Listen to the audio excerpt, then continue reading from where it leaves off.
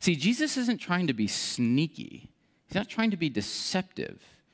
He's trying to get people to ask the question what's going on in here? People's hearts have become calloused. They hardly hear with their ears, and they have closed their eyes. Otherwise, they might see with their eyes and ear with their ears, ears and understand with their hearts and turn, and I would heal them. See, Jesus answers the question of the disciples, speaking to the condition of our heart.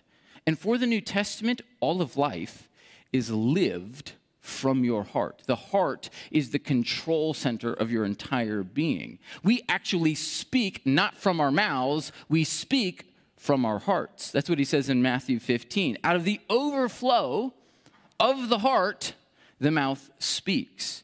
He goes on to say the things that you desire, the things that you want that motivate and drive your life, they reside in your heart. He says in Matthew 6 that wherever your treasure is, the thing you want most, is where your heart is also. He even goes on to say that we think out of our heart. We don't think from our brain, we actually think from our heart. In ancient world, it was thought that thinking resided in the brain, feelings resided in your gut, but they come together in the heart right? You think actually through your heart. Because he says in Matthew 15, out of the heart comes evil thoughts or other kind of thoughts. So the ability to hear and see the, realities of the kingdom starts in the heart.